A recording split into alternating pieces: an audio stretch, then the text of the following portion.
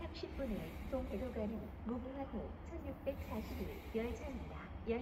출발하겠습니다. The train in platform 2 is the Mugunghwa train number 1641 departing for Donghae at 1630.